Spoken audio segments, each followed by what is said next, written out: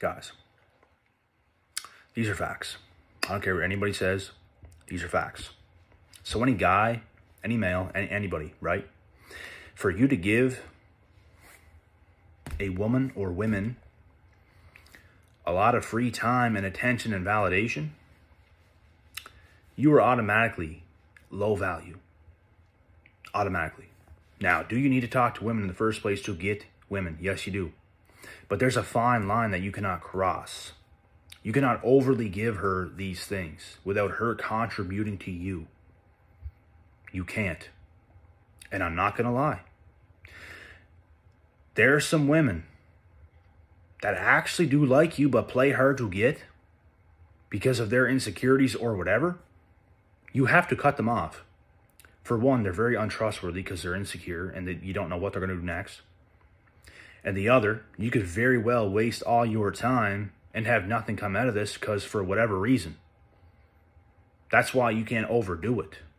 That's why if they're not contributing with you, making it easy, which they should, because nothing should be hard, dating shouldn't be hard, relationships should not be hard. It's not supposed to be. It's not supposed to be a Scooby Doo mystery or some shit like this. It's just not.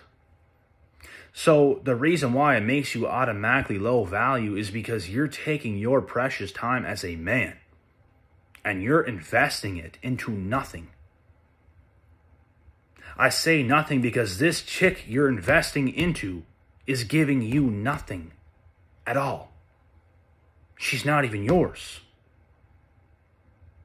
She's she's somebody else's, she's nobody, she's whatever, she's for the streets, who knows? But she's not yours. She's not a part of your life. She's not a part of your empire. So you as a man have to be strict with your time. That's what creates high value men. Being strict with your time, being wise with your time. And guess what?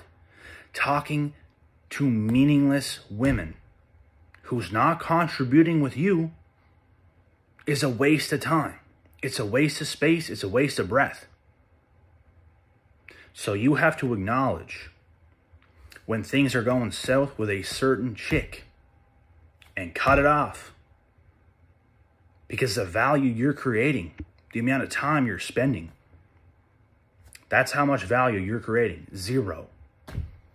If you could take all that time and put it into yourself, you become much more valuable, which equals more women to begin with. You see how this works? There's your Scooby Doo mystery for the evening.